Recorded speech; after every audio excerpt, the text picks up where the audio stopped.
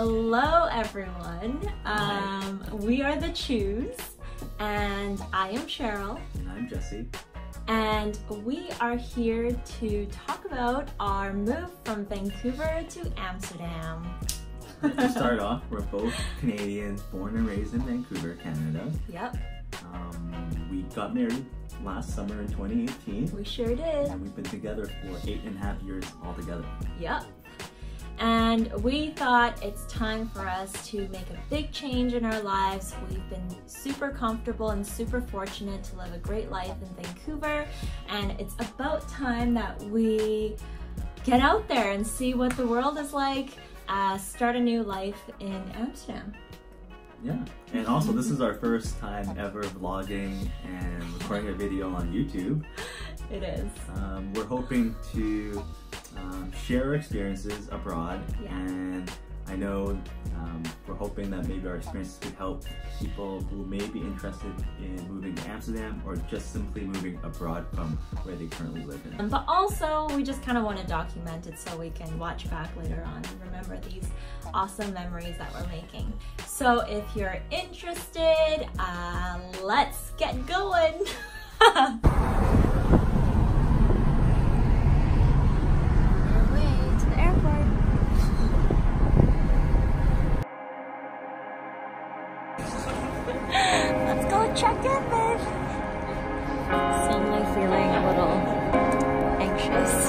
Not anxious, nervous. That's gonna be okay, right? It's gonna be good.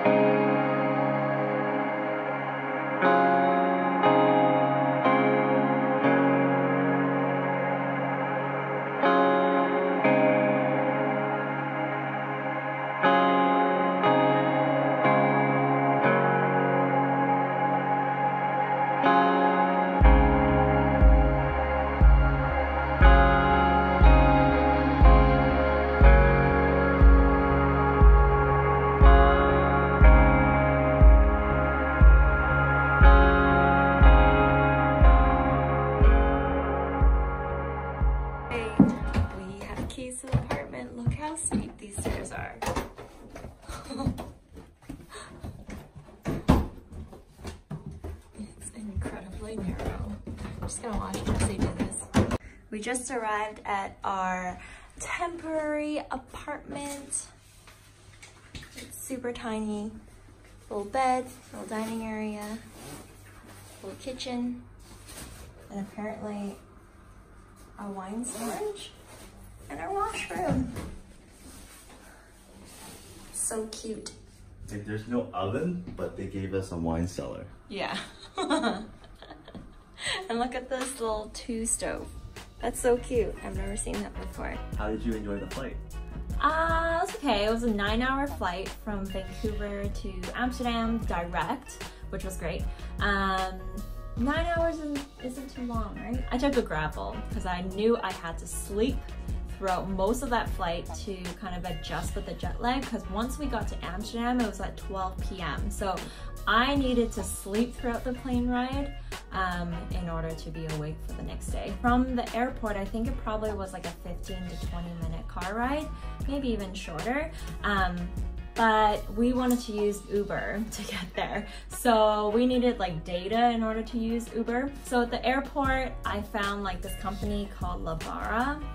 Lebara has like a stand within the airport. I think it was like 30 euros for three gigabytes and like a few, a few hundred minutes to call within um, the Netherlands, uh, which is a great option. It's not too expensive. Uh, if you really need data from, you know, the airport to the city center. Um, but actually, if you wait until you get to the city center, you can actually get much cheaper prepaid data. Um, so if you have the option to maybe just take a taxi and not use your data when you get there, I would just wait so you can save money. But anyways, fast forward, we got into the studio. Um, you saw some clips earlier and it's super tiny, very cute in one of the best areas in Amsterdam, I must say. It's called Jordaan and um, it's really close to city center, probably a 10 to 15 minute walk to like Central, which is the central uh, train station. Um, and it's a great location. We are so blessed. Like, Mhm. honestly, there's great stuff around here. It's super cute. There's always markets really open on our street every day. Yeah, Even on a Monday. it's adorable. And so the first day when we got here, we unpacked some of our luggage. We couldn't really unpack, we just unpacked our carry-on luggage actually because it's tiny here. So we made plans with two friends of ours. We had dinner with them in the area. Yeah. So we had dinner at La Perla, which is a really great pizza place um, in Jordaan. And then as we were like walking out and like just strolling around the city, one of the biggest canals, I have no idea the name of the canal. I should, probably should have researched this There's ahead a lot of of time. canals in Amsterdam. Um, yeah, it's one of their, I think, widest canals, and they usually host festivals, and um, I think. It's Uh, also where the Pride Parade is. yeah, the Pride Parade was there as well, and uh, the concert was called. I have it written down here because I know it's hard to read. It's called Prinsengracht um, concert, and it was an outdoor classical concert where all these local boats were um, parked right in front of the stage. Yeah, they just basically played amazing live classical music um, throughout the night.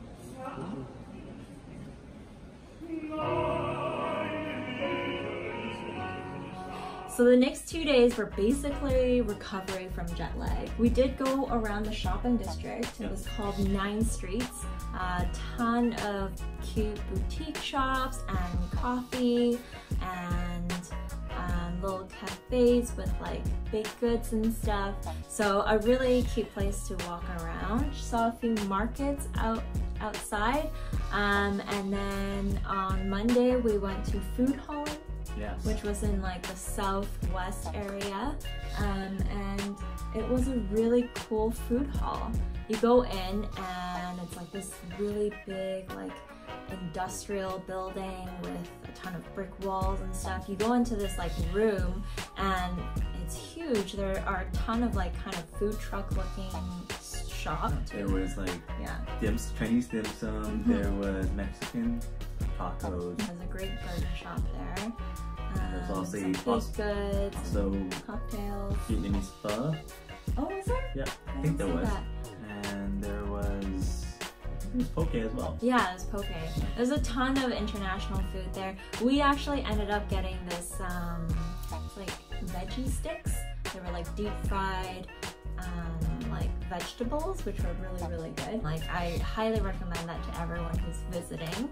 Um, and then we ended up going to somehow made our way to the Pijp, which is this really cool like hipster millennial slash like apparently Spanish district, I think. Mhm. Um, and it was we fell in love. Yeah. we, we fell in love. It kind of felt like our our area that we lived in back in Vancouver. We lived in Mount Pleasant area, which is a lot of like really cool boutiques and coffee shops and a lot of like uh, young families and millennials who live there, and it was very similar in the Pijp. And that's day two and three.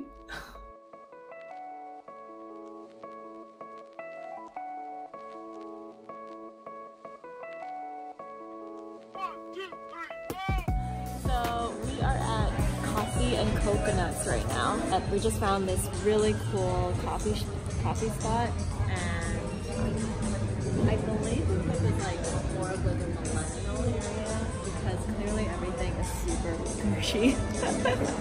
and surprisingly, we found kombucha like everywhere here. So we got a ginger and kaffir lime kombucha, and it came with a super cool cup. So let's see if it's any good. And then we're waiting for our Korean tacos. Yeah. Our food came and it looks so good.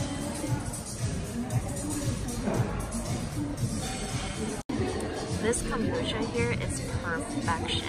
It's called kombucha and it's ginger and kaffir lime. And it's actually made in Amsterdam. Uh, it's really interesting. I actually brew it with um, Sichuan peppers and jasmine tea. I've never seen kombucha brewed with peppers before. Actually tastes really good. don't really taste the peppers, but you know, kombucha has a bit of a kick anyways. On Tuesday, we had a really productive day because um, that was the day that we had our meetings with IAM, IN Amsterdam, which is a government office for expats to go to set up their permanent residence card. So that office was in the south, which is like a business district, and that's where the World Trade Center office is, and that's exactly where the IN office is.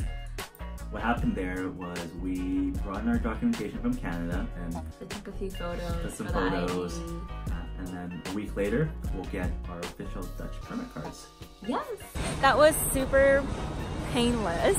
Um, it wasn't quick though. It did take an hour, about an hour to get our um, residency. Um, and then we had our second appointment where we went to the bank, ABN, and uh, now we have bank accounts set up. With this appointment, it was so thorough and detailed in a good way though because they, they provided so much information for people who are moving. Here as uh, expats and what we can and cannot do with our bank accounts.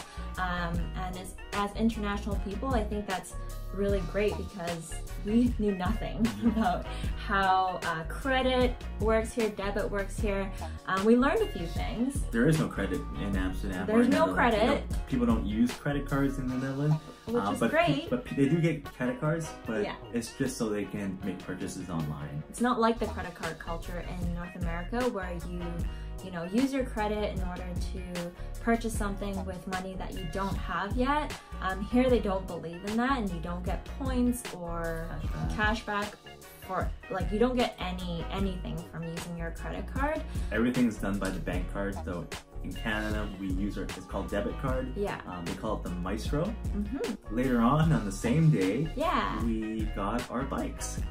Yes. Um, And just to back it up a little bit, everybody in Amsterdam bikes as their primary mode of transportation and it's an easy way to get anywhere within the city. It's probably less than a 20 minute bike ride to get anywhere within Amsterdam. so we are using a service called Swap Fiat.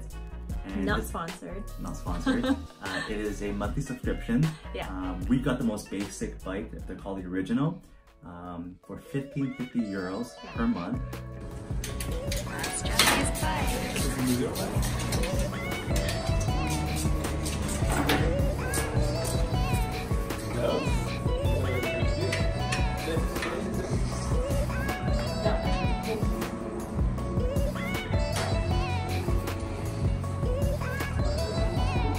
Oh we got our bikes. Yes, we both got red bikes. They look so cool. We're so excited, but also very nervous. We're gonna be biking to Vondel Park now.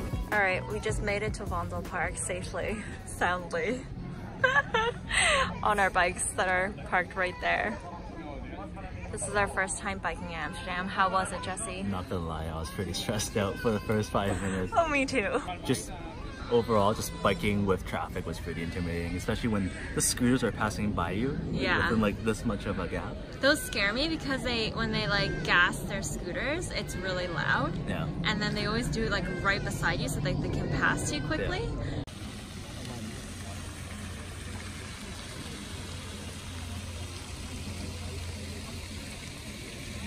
It's beautiful here. It's like the Amsterdam version Stanley Park. Yeah. Um, we were kind of discussing about how big it might be geographically. We think Stanley Park's a little bit bigger. Um, definitely more nature areas at Stanley And there's Park. probably more space in this park to walk and bike in. Yeah. Um, yeah, there's tons of like cafes and like restaurants that you can go to, which are so beautiful. Um, and look at this. Tons of people here um, having picnics and stuff, which is so cute. And uh, it's, I don't know, it's a great place to kind of hang out and have a picnic. It's beautiful.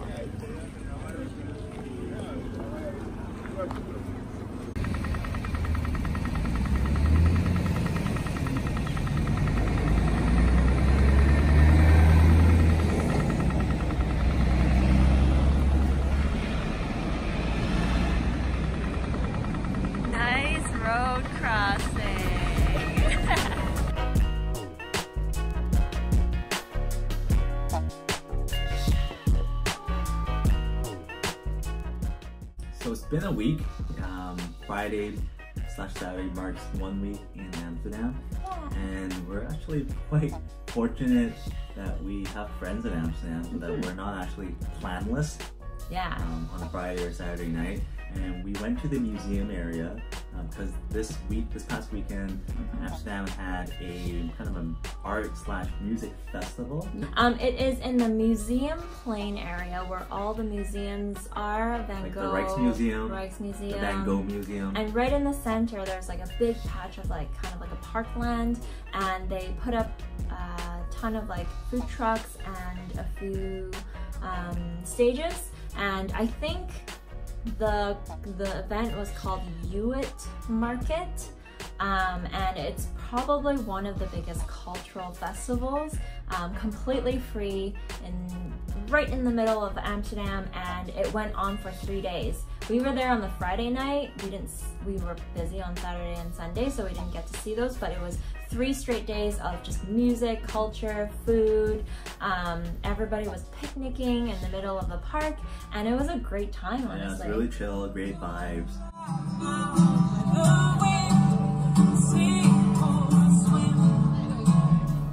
So when it got busy, uh, we decided to actually go back to the food hall. hmm So we rode our bikes with our friends and we ended up at the Foodhallen. So it was like we got to see Foodhallen in the morning and then we got to see Foodhallen at night. And nighttime was bumping. It was hot, but it was so It's pretty lit. There was yeah. a lot of people. I yeah. think it, I think a lot of expats like hang out there because they're playing, you know, um, music, the 90s, Yeah. R&B, Oh, yeah. you know, hip hop music. It was a great time. There's a. DJ there, live DJ there. Was it live? Yeah. I didn't even notice. So we like sat, there's like this upstairs patio area. It was not outdoors, it was just like an upstairs second floor area and there was A foosball, there was uh, there. darts. yeah, it was a it was a great time. Yeah.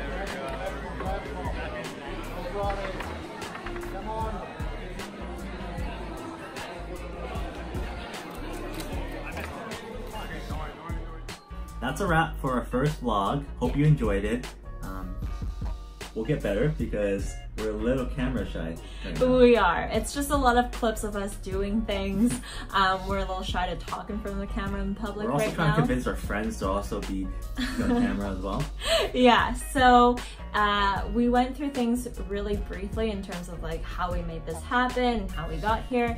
But if there's anything in detail you want to know about, let us know in the comments below, and we're we'd be ecstatic to share that with you.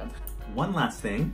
If you enjoyed it and want to follow our journey of our move to Amsterdam, please like and subscribe. Bye. Bye.